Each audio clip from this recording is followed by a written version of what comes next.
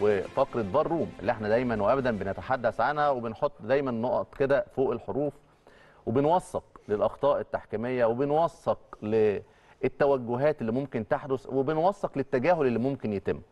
كلاتنبرج زي ما عود آه، جماهير كرة القدم المصرية وقال في المؤتمر الصحفي إن هو كل جولة هتنتهي هيكون في فيديو يتكلم فيه عن الحالات الجدلية. جينا الفترة اللي فاتت أو الجولة اللي فاتت مش اللي خلصت دي اللي قبلها اتكلمنا إن في بعض الحالات الجدلية تم تجاهلها. وحسنا فعل إن هو قدر إن هو يتدخل ويقدر إن هو يعمل عن حالة طرد تغاضى عنها محمد معروف حتى لو قال ضمنيا ان أنا مختلف مع قرار الحكم بس على الأقل جابها وما تجاهلهاش. المرة دي بقى إحنا مش عارفين هل هو مشغول؟ لأن وخد مني معلومة مؤكدة كلاتنبرج بعد كل جولة بيعمل اجتماع فني مع طاقم التحكيم مع الحكام المصريين. ويبدأ يستعرض الحالات بعد كل جولة سواء Zoom meeting أو حضور. الجولة دي ما حصلش أي حاجة. ما حصلش أي حاجة. مفيش أي كلام دار بينه وبين التحكيم أو الحكام. والحكام بدأت تفقد قصة إن لا رئيس لجنة حكام باختصار شديد. فكلاتنبرج ما عملش ده. وعمل حاجة أنا بتوقع إن هو مشغول. أو إنه نفس الكلام اللي هنفضل نقوله كل شوية. في إيه بيحصل؟ إن أنت تجيب مباراتين فقط لا غير من أصل آه، سبع مباريات اتلعبوا في الجولة في مباراتين مؤجلتين. طب أنت فين باقي المباريات؟ هل ما عندكش حالات في المباريات دي إن أنت تستدعيها؟ مفيش حالات في مباريات أخرى تستدعيها؟ بس فقط لا غير الحالات كانت في المباراتين دول. وطبعا المباراتين دول لازم يكون- يكون فيهم مباراة للأهلي. ولازم يكون في قرار يأكد إن الحكم كان صحيح وإن اعتراض جماهير النادي الأهلي على حالة تحكيمية مثيرة للجدل مش في محله. فخلينا نستعرض الحالة الأول بتاعة النادي الأهلي عشان تبقى الناس واضحة. دي حالة طبعا الهدف اللي تم إلغائه لكريم فؤاد واللي حصل عليه انقسام في آراء خبراء التحكيم والقصة بوضوح شديد. زي ما حضراتكم شايفين الدنيا صعبة. والخط. الأزرق تقريبا شبه منطبق مع الخط الأحمر. ودي الصورة اللي كان فيها جدل لأن الجدل كان مش بس من وقفة اللاعبين سواء المدافع محمد نجيب أو كريم فؤاد لا كمان في وقت لمس أفشل الكرة. كان ارجع كادر لا روح كادر فالكادر ده ممكن يغير في حالة تحكيمية. طيب هنفترض إن عمرو الشناوي حكم الفار وقف وحط النقط سليمة. وثبت آه، لمس الافشل الكره سليم وقت اللمسة في النهاية أنت شايف خط أحمر سابق خط أزرق ولا يكاد يكون الخطين متطابقين؟ في الحالة دي حصل في الدوري الإنجليزي وإيفاب بعت لل Premier League قال لهم الحالات اللي زي دي shoes الحذاء أو حذاء اللاعب المدافع آه، أصغر من حذاء اللاعب المهاجم والكلام ده كله ما ينفعش نقف عنده بالشكل ده. قصة ال zoom الكبير ده ما بقاش بيحصل وشفنا جون لراشفورد يعني كان واضح شكينا إن هو تسلل ولكن اتحسب جول عادي جدا بسبب القصة دي. طيب كلاتنبرج ده أصلا خبير تحكيم إنجليزي إنجليزي فالمفترض يكون جاي بثقافة حتى التحكيم الإنجليزي لكن واضح جدا إن هو تم تمصيره. يعني أنا لو جاي بثقافة التحكيم الإنجليزي هقول للحكام بتوع إيه؟ إن القصة دي زي ما إيفاب بعت لل Premier League ويقول لهم إن الأمور اللي زي دي بالملي والكلام ده بنتجاوز عنها لو القصة لصالح المهاجم. طب الخطوط منطبقة. هنفترض إن عمرو الشناوي عمل كل حاجة كويس الخطوط تكاد تكون منطبقة الأحمر مع الأزرق. ناهيك عن أسلوب عمرو الشناوي في التعامل مع أمين عمر حكم الساحة. مش أسلوب فيه احترام متبادل بين الحكمين. أنا هنا مش هتكلم عن أمين عمر لأن ال- الصوت طالع من تقنية الفيديو اللي أمين عمر بيسأله السؤال الطبيعي القانوني. وأنا سألت قبل ما أطلع على الهوا كده عشان ما أقولش كلام إلا بعد الرجوع لخبراء تحكيم لا المفترض آه، حكم الساحه بيسأله التسلل على مين؟ يرد عليه بشكل فيه لائق من حكم تقنية الفيديو عمرو الشناوي خاصة وهو المفترض يعني حديث السن. ولكن واضح جدا إن هو قوي بما يكفي إن هو يتعامل مع حكم الساحه بالشكل ده. خلينا نشوف الفيديو ونشوف آه، ال- القصة اللي تمت ما بين حكم تقنية الفيديو وأمين عمر ونرجع نعقب. بس مش كمان frame؟ يا أمين ارجع frame.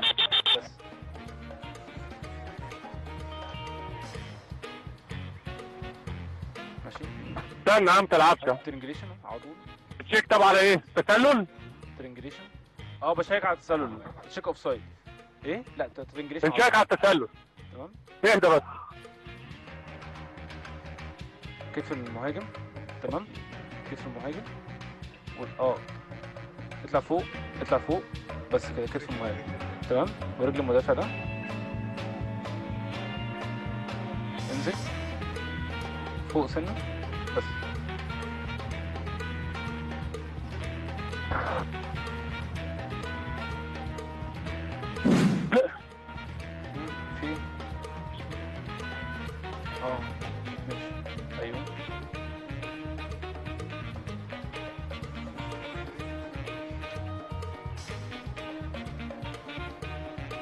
يمين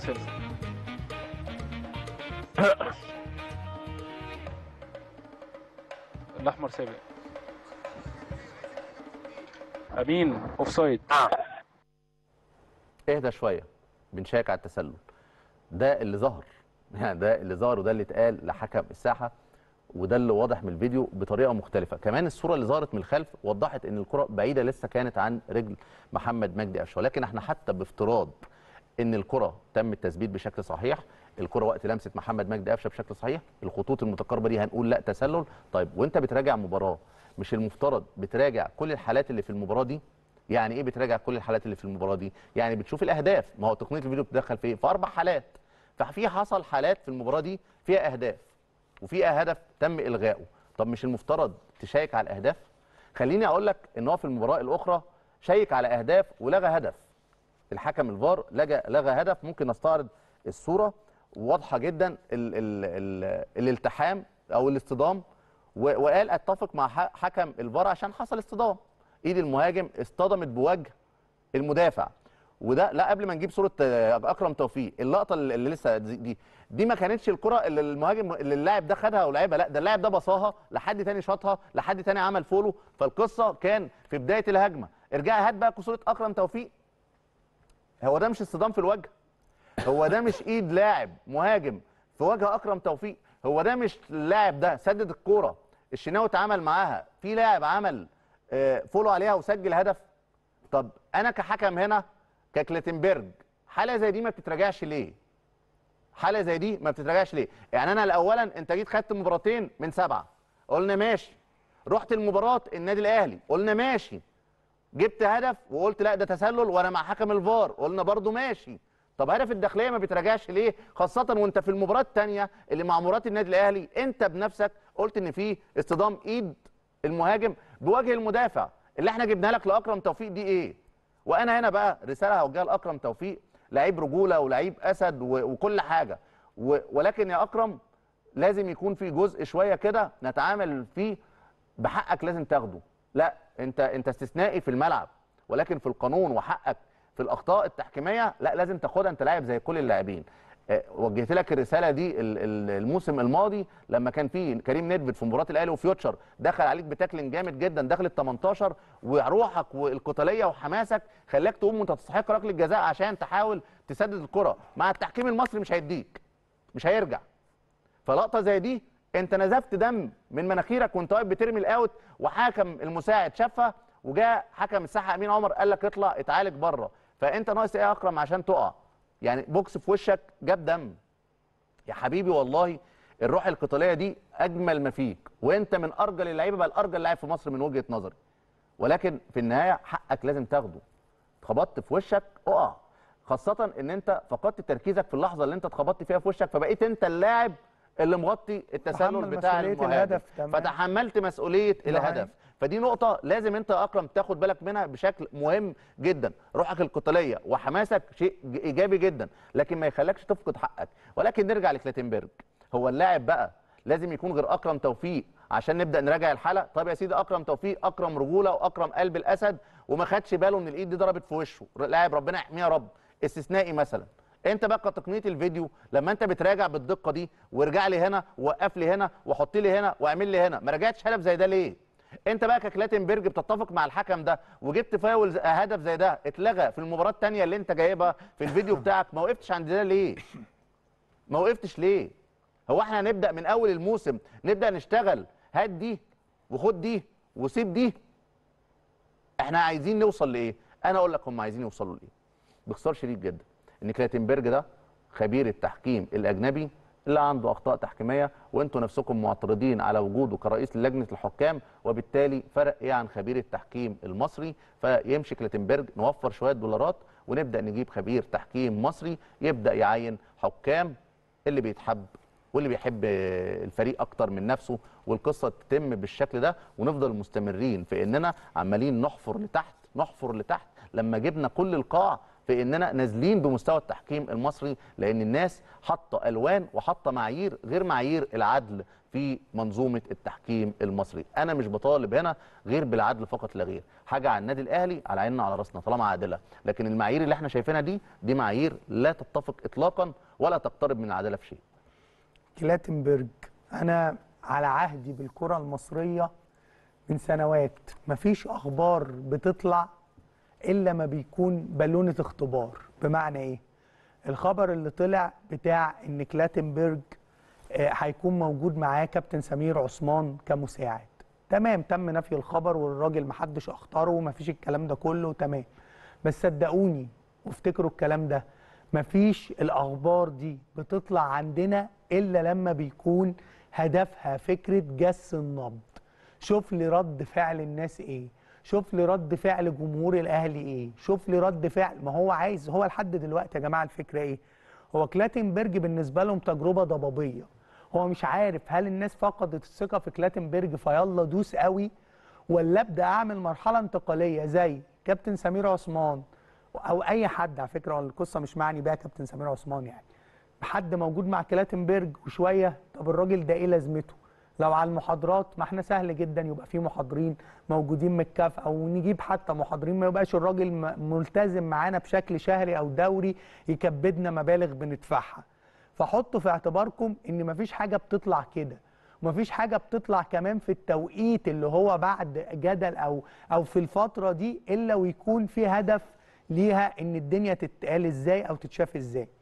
أسامة بيتكلم على فكرة أمين عمر إن آه، عمرو الشناوي على الفار بيكلمه بشكل ما. يعني أنا بعيدا عن بيكلمه إزاي ده شأن يخص كابتن أمين عمر إذا كان هو شايف ده مناسب ليه أو لأ. أنا تحديدا كابتن أمين عمر مش معني بيه قوي ولكن اللي أنا معني بيه هو تعيين كابتن أمين عمر نفسه.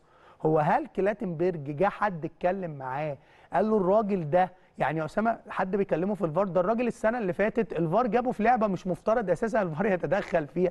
يعني إحنا بنروح لرفاهية قوي بالنسبة لكابتن أمين عمر اللي الفار استدعاه في كرة إحنا بنقول إن هي أكبر وأهم حدث يثبت أخطاء ومشكلة وعوار التحكيم الموسم اللي فات وإن القصة كانت أكبر من جهل بالقانون لأن لما يجي يتصنف اللعبة بتاعه البنك الأهلي الفاول اللي تم إلغاء الهدف فيه وتيجي لعبة مماثلة في الزمالك ونلاقي رد الفعل مختلف تماما ومفيش روح بروتوكول اتقالت يبقى هنا إحنا كنا قدام واقعة مرعبة كان بطلها كابتن أمين عمر اللي أنا بالنسبة لي استدعائه بالشكل ده وبالسرعة دي وفي أول مباريات الدوري شيء عليه علامات استفهام كبيرة جدا. هل كلاتنبرج الناس بتقول له الراجل ده السنة اللي فاتت مع الفرق دي كان عنده مشاكل إيه؟ لأن يا أسامة مش ده بس. خد مثال تاني. طب أكمل بس فكرتي. بعد إذنك في النقطة دي. خد مثال تاني لنفس المبدأ اللي هو إيه؟ محمود معروف اللي هو آه، قصدي محمد معروف. نفس الفكرة. برضو كان سيراميكا الراجل بطل بطل مشهد كارثي السنة اللي فاتت. معروف. في مباراة سيراميكا لدرجة إن هو هوجم ونزل بيان. الراجل ده الراجل جه بطل مباراة الزمالك مع نفس الفريق. على فكرة يا جماعة أنت ما بتديش الحكم الثقة كده. كده في حاجة غلط. لأن طبيعي حتى التحكيم نفسه في حاجة اسمها سكاوتنج للتحكيم. أنا باجي أقول لك خلي بالك الراجل ده السنة اللي فاتت كان عنده أزمة في المباراة دي كان طرفها كذا وكذا. أبدأ أشوف وأنا بختار يبقى في سيكولوجية للاختيار إنما معروف في مباراة الزمالك وأمين عمر في مباراة النادي الأهلي بعدها الأسبوع اللي بعده أنا عندي 100 علامة استفهام تديني إيحاء إن الراجل ده مش متقال له أي حاجة عن أي سيرة ذاتية للحكام دول مع النادي الأهلي أو نادي الزمالك على حسب الاستخدام المغاير اتفضل يا وأنا. هقول لك بقى هنا إيه ما إحنا لو عارف أنت لو استبعدنا حكم أخطأ مع النادي الأهلي مش هنلاقي حد يحكم من التحكيم المصري بس دي لا، بس مختلفة في رد تماماً. في رد ممكن يجي يقول لك إذا كان حكم مباراة الاحتواء الشهيرة اللي مر عليها سنة إحنا قلنا ليه الحكم ده ما بيجيش يحكم؟ وجاء محمد مع جاء بص محمد بس ده راجل كتطبيق قانون. جوه الملعب. مين؟ بص ك- كلعبة أو حالات دي قصة مختلفة. أنت بتتكلم خطأ تطبيق قانون مش بتتكلم فيه تقدير فني يا أسامة. ده- وده كان عشان كده إحنا قلنا دي الماستر سين أكيد الموسم. أكيد. لكن أيضا محمد عادل الراجل واضح جدا الناس اعترضت عليه. طبعاً دي قصة تانية. فخلينا نتعامل مع التحكيم. ماشي يا عم كلاتنبرج. أنت جاي بتقول أنا راجل رئيس لجنة حكام أنا مختلف عن ما قبلي. فما قبل ده هو اللي كان مدي تعليمات. فأنت جاي بتدي تعليمات مختلفة. إحنا شايفينك نفسك عندك معايير آه، مش صحيحة. عندك تضارب في ال- ال- الحالات. ده حقيقي. عندك استبعاد لحالات واختيار لحالات. فالقصة كلها انت عندك كده كده مشكلة. أنا ممكن أتفهم إن أنا خلاص يا جماعة أنا من رئيس لجنة الحكام حاسب الحكام بتوعي من السنة دي وأنا المسؤول. تمام أمين يا عم كلاتنبرج. لكن اللي أنت بتعمله ده مش هيخليني أثق فيك. لأن اللي أنت بتعمله ده في إسقاط لحالات في مباراة واسقاط للمباراه بالكامل. يعني مباراه الزمالك وإنبي مثلا أنت ما جبتش ليه الحالات بتاعه الزمالك وإنبي؟ ده حقيقي. وبعدين أنت طماع جدا عايز حالتين من الداخلية. ده أنت متخيل حجم الحالات اللي خدها في الأسبوع كله أصلا قد إيه؟ يعني لا قليل جدا طبعا. مقارنة بأحداث مشابهة في. الماتش الثاني ده ده اللي اغرب بس حالتين من الداخلية يعني أنت أنت متصور. الراجل تقريبا شاف ال- الأهلي. آه اعرض لنا إنبي. نبدأ نشوف آه، ركلة الجزاء بتاعه الغير محتسبة لانبي إحنا هنا ما بنبديش رأي يعني أنا تحديدا تمام بس زي ما أسامة قال لكم على الأقل اللعبة جدلية. أنت كراجل بقى تعالى اثني على إن لأ هنا ما كانش فعلا لا. ده مش جدلية. دي ركلة جزاء انبي تمام؟ دي اللعبة الجدلية. هو تجاهلها. يا عم لأ تعالى واضحك عليا زي ما أنت ضحكت عليا في مباراة الداخلية واستبعدت صورة أكرم.